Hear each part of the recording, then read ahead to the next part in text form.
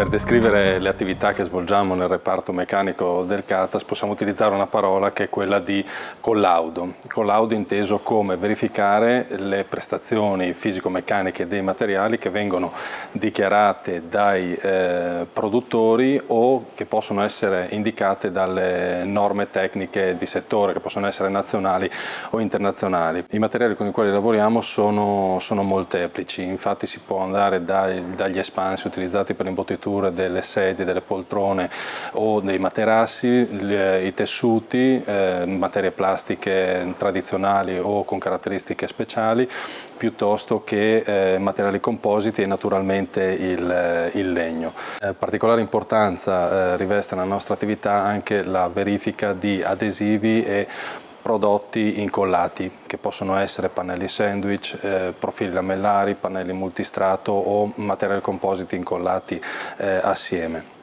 Eh, la verifica di questi elementi incollati è importante perché solamente con una prova empirica è possibile valutare eventuali presenze di difetti occulti all'interno del prodotto.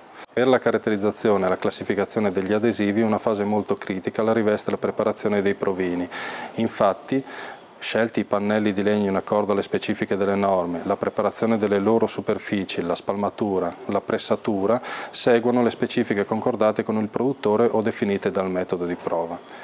Una volta preparati i campioni iniziano le prove. La prova di creep ha lo scopo di valutare la resistenza agli scorrimenti del giunto incollato, difetto che potrebbe manifestarsi in uso quando il giunto incollato viene sottoposto ad un carico esterno.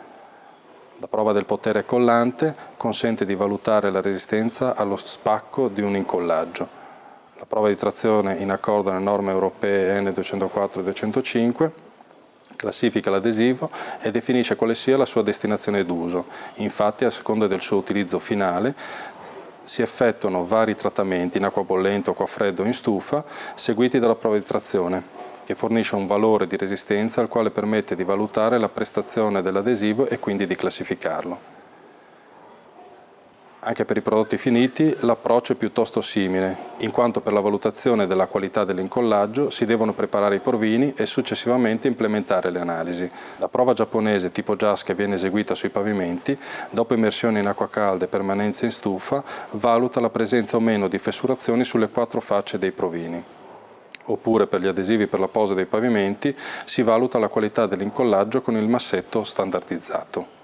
Particolare importanza riveste il controllo qualitativo dei profili lamellari per finestre. Eh, su questo particolare prodotto Catas ha implementato uno schema di certificazione di prodotto al quale hanno aderito negli anni le più importanti e quasi tutte le aziende produttrici italiane. La certificazione di prodotto del Catas offre alle aziende un importante strumento per migliorare e crescere nel tempo sia da un punto di vista tecnico che tecnologico.